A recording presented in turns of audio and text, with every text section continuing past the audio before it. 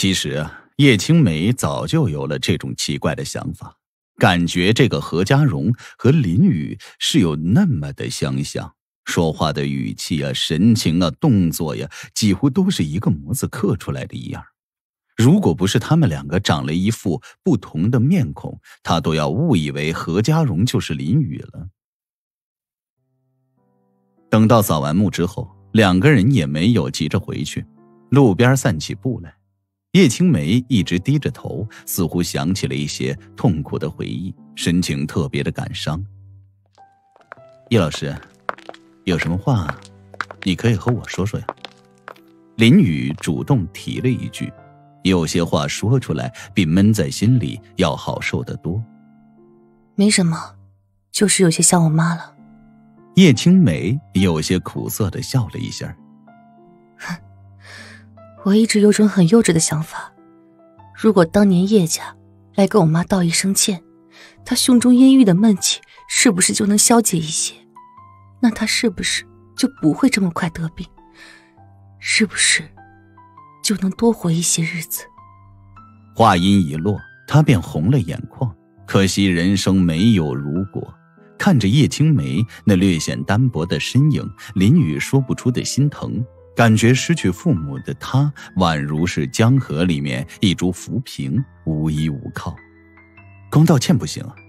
我觉得你爸和你爷爷最起码得去你妈的灵位前面磕三个响头谢罪，以慰阿姨在天之灵啊！林雨轻轻的摇摇头，说道：“叶青梅的身子一颤，恨恨说道：‘我也有过这种想法，也想让那个负心汉和狐狸精到我妈坟前磕头谢罪。但是，这永远都是不可能的。’那不一定，说不定哪一天他幡然悔悟，觉得自己罪大恶极了，主动要给你妈妈磕头谢罪呢。”林雨笑眯眯的说道：“他心里面突然有了主意，如果叶家能答应自己这个要求的话，倒是可以考虑考虑给他们治病的。”“哼，不会的，那种人没有人性的。”叶青梅轻轻的摇了摇头，苦笑了一声。连自己亲生的女儿是生是死都不闻不问的人，又怎么可能会幡然悔悟呢？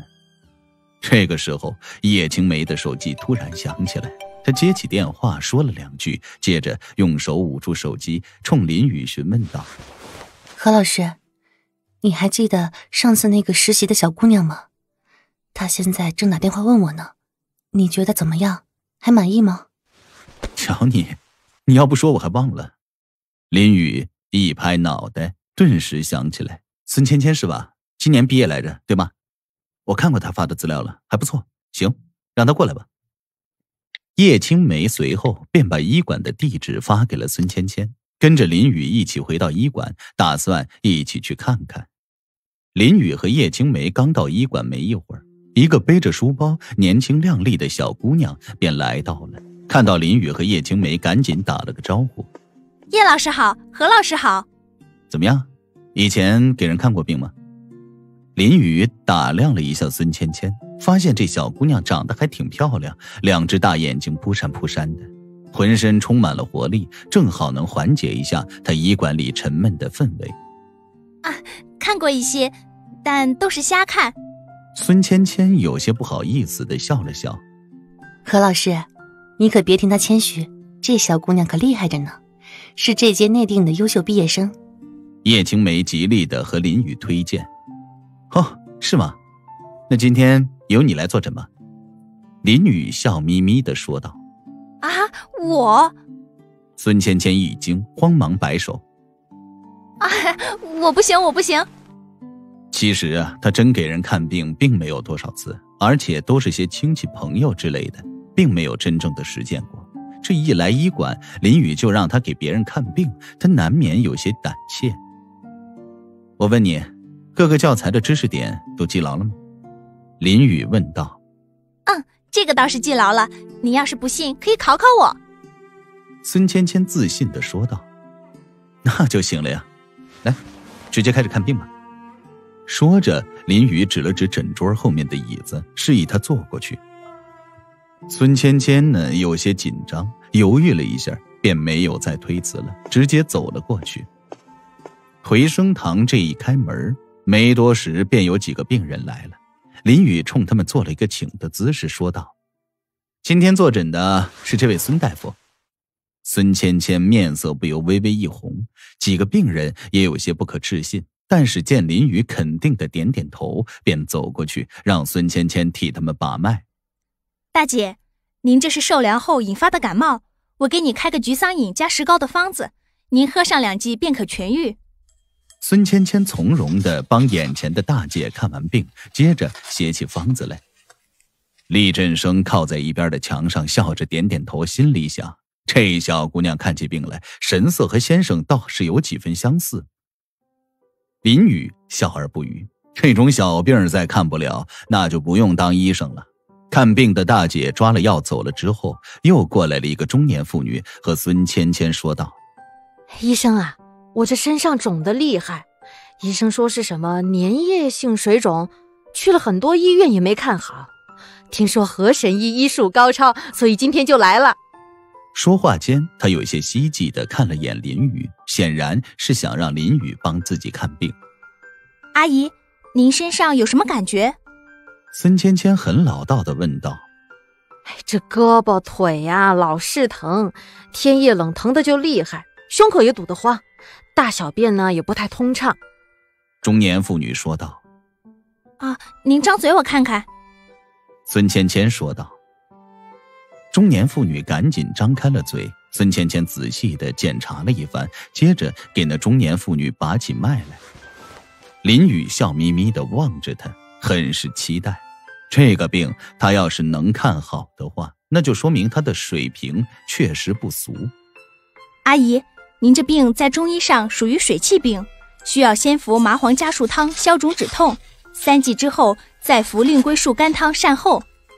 孙芊芊边说边写好方子，中年妇女有些不太相信的看了林雨一眼，林雨冲她点点头，笑着说：“您放心吧，放心喝啊，换做我给您看啊，也是这个方子。”中医妇女这才赶紧和孙芊芊道谢，拿着方子走了。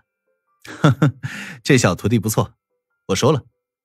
林雨看着孙芊芊，笑呵呵的说道：“怪不得叶青梅如此夸他，确实天资过人。张仲景水气并天，并没有提到麻黄加树汤，没想到他竟然会因症施药。”这个时候，外边突然停下了一辆挂有外地牌照的香槟色宝马七系。车上下来的正是刚刚才去找过叶青梅的老满和叶尚杰，老满的手里还抱着一尊椰子大小的玉观音，是他和叶尚杰刚去玉器店里买的。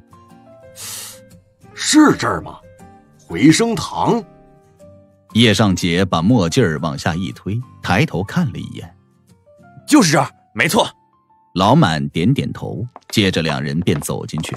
因为他们的目光全都被桌上的孙芊芊给吸引了，并没有注意到坐在墙边上的叶青梅和林雨。这俩人都颇有些惊讶呀，没想到这个医馆里面竟然还有这么漂亮的女医生。喂，小姑娘，你们这儿是有位叫何家荣的医生吗？叶尚杰在孙芊芊身上打量了一下，笑眯眯的问道：“孙芊芊呢？”看了一眼椅子上的林雨，刚要说话，厉振生率先走出来，冷声说道：“你们是什么人啊？找我们先生做什么呀？”厉振生一看这俩人的模样，感觉就不像什么好人，出于严谨，并没有直接告诉他们谁是何家荣。本集故事播讲完毕，请您继续收听下一集。